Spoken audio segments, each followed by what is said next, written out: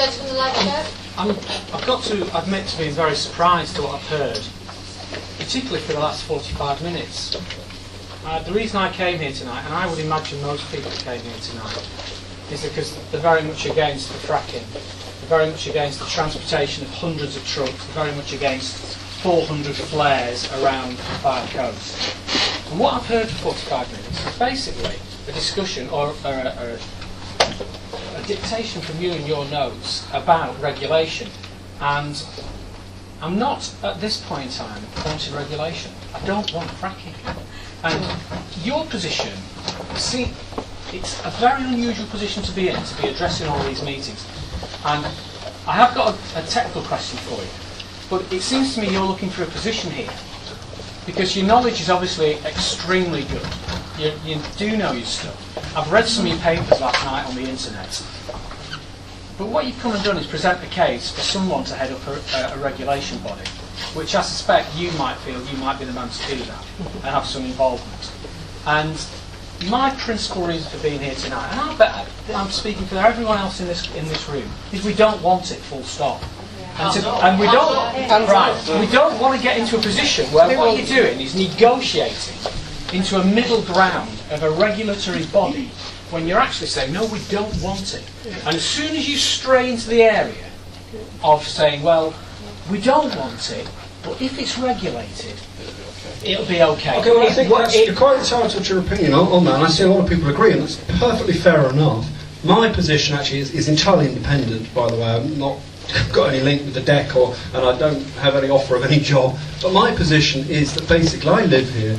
I actually know what it can do if it goes on unregulated. Hmm. Personally, I think whether you like it or not, it's going to happen.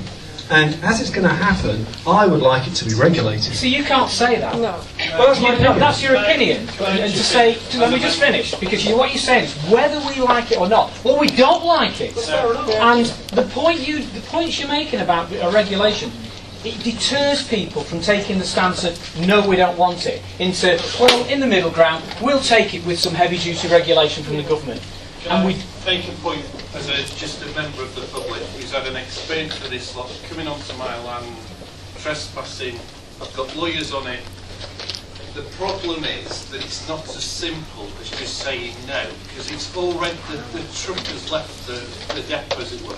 So I agree with you, we don't want it, absolutely don't want it, but the problem is, what Mike's putting across is, to get this banned, we've got to argue very intelligently, because they're not listening to us just saying, we don't want it, it's too late, the, the government has granted a licence Yeah. the only way you're going to get anywhere with this with this job is through the politicians. Unless you're getting a voice in Parliament through Mark Menzies and oh, through your councils. Yes, we're already on, we're already on with it. There's more questions Yeah. here, to be Mark Menzies was invited tonight. Yeah, well, he'll avoid it. I've seen a letter from Mark Menzies, and he's taken a very much a government He's position. in Parliament, it's Monday, in he's my, in Parliament. In he actually sent me, his office manager and secretary, as his representative. So if any of you do, I have no expertise at all in shale gas.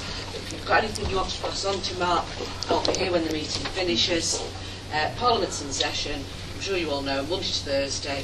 The Parliament's in session, that's where it's got to be. Can I just give the technical question, which I think is a scary thing about this You drilling? have to be fair to the room, Okay, yeah, I do. I understand that. The the wells that they drilled that created the earthquakes.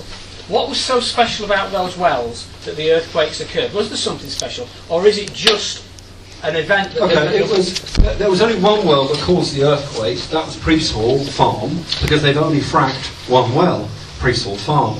And the reason it caused the earthquake is because they were pumping into a fault. They didn't know the fault was there. The old seismic data, the 2D data that came from British Gas, now Centrica, dates from the early 80s. It doesn't and cannot show where all the fault lines are. The 3D data cannot show necessarily where all the fault lines are, but it shows a hell of a lot more. So they'll know in future if they do any more uh, frack, if they're allowed to continue fracking, they'll know where the faults are and they won't pump into a fault, and therefore they won't cause a tremor.